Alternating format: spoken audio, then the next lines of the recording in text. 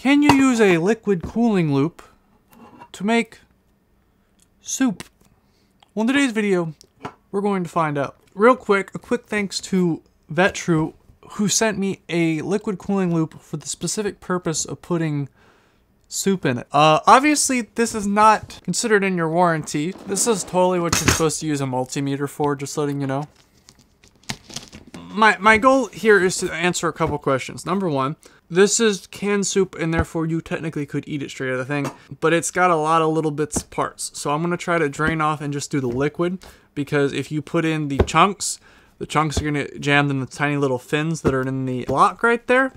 And so you're not going to be able to cool really anything while also making your soup. I also plan on taste testing this. Hopefully there's nothing really bad in the loop uh, that I'm to die from. If I do, well then, um, great way to go out. First off, I think we should just try it out stock, see what the temperatures we get on Windows, and then we from there we can, of course, try putting some soup in there, seeing if the soup cooks, we'll go from there. You know, I think that's the ultimate flex, getting something specifically to cook soup in. Oh, by the way, I mentioned this in a live stream, and then like two weeks later, Linus Tech Tips tweeted out that he might do it.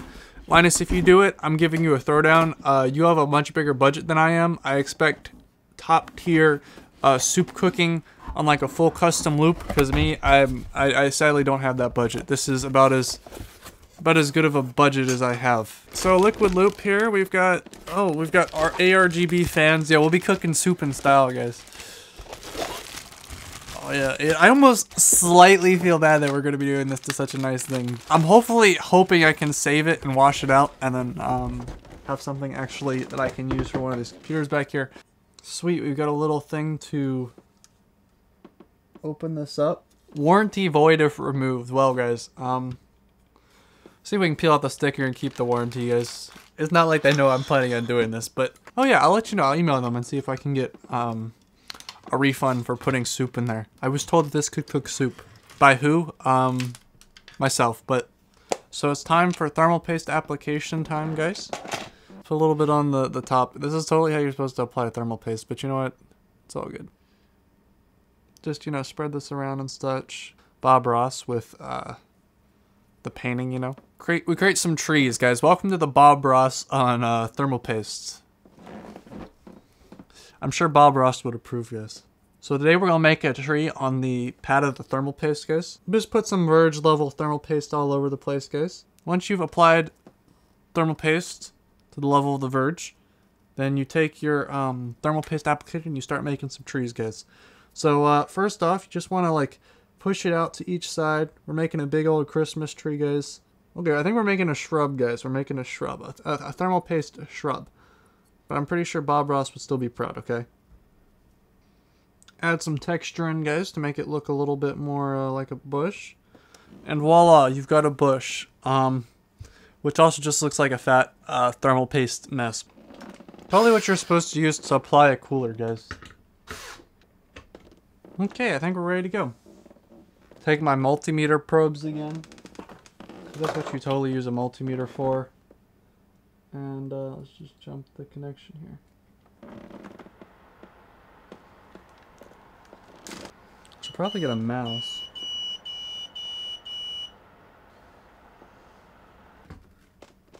Might need the graphics card in here, guys.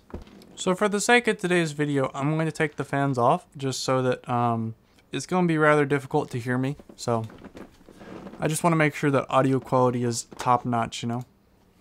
Okay, so first off, let's just do a simple test to see how much our, what temperature our CPU gets up to before we put in the soup. Okay, let's check our temperatures. We're up to 80 C already? Holy crap. Well, I figured out what the problem is. I didn't have the pump on. That'd be important. Watch the temperature drops. Temperature drops like a rock. Um, now I've got to crack open the warranty, figure out how to get the soup into this without a funnel, then figure out how to get the soup out. So I'm going to shut this down, and let's see if we can figure this out. So, um, I probably will end up eating this for breakfast, so that's to be great. Because as much as you guys like to think so, I don't actually let stuff go to waste.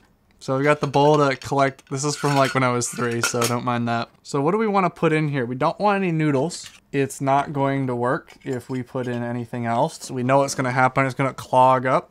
If it's just distilled water, it's probably fine. Yeah, this probably isn't a real, really well thought through idea, but I hopefully, does it say what it is? Well, guys, you might as well subscribe because I think this is my last video, guys. Uh, we'll drink a small amount. How about that? Okay, let's first pour out all the liquid. Okay, so we've got a soup. We've got the liquid. Um, it's only logical that we do a taste test before and after. Obviously, we're going to have a lot more water in the stuff that we pull out of the loop than we are here. Uh, but we can give it the, the taste test, everybody. So, uh, um, tastes like chicken noodle soup. Now I've gotta figure out how to get this in here.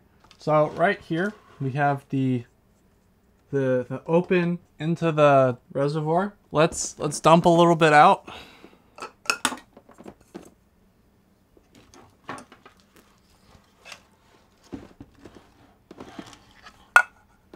Pour a little bit in. It's gonna take a while until I have this all poured in. Um, and make a mess. Let me get paper towels. It's gonna smell like chicken noodle soup for three months now. I wish I had a, here, I should probably use a spoon, right? Spoon be a little bit more accurate, maybe not. Oh yeah, guys.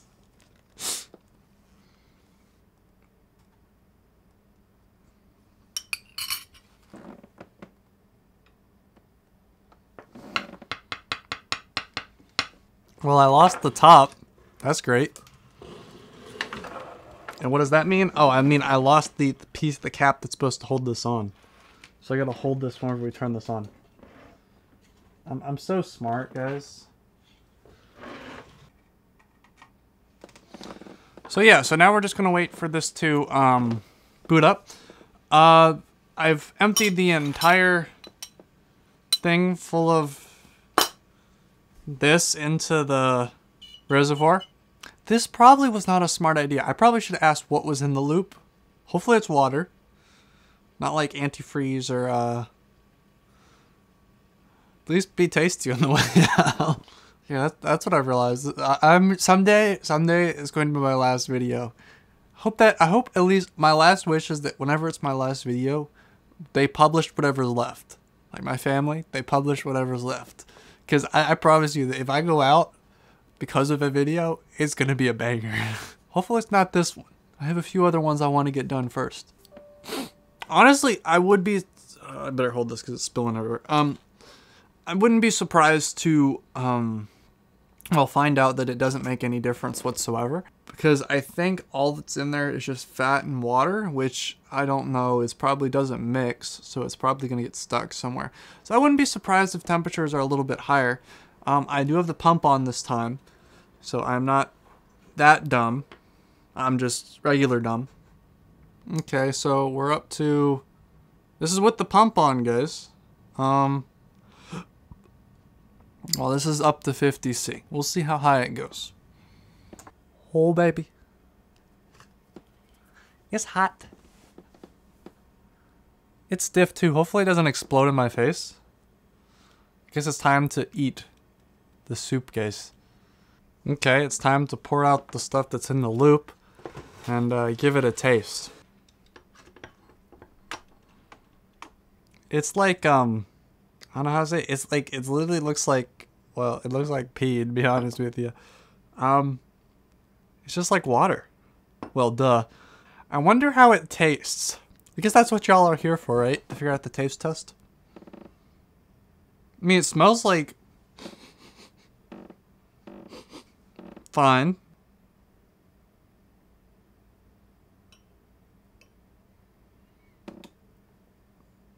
Yeah, I'm gonna have to clean this out if I want to actually keep this.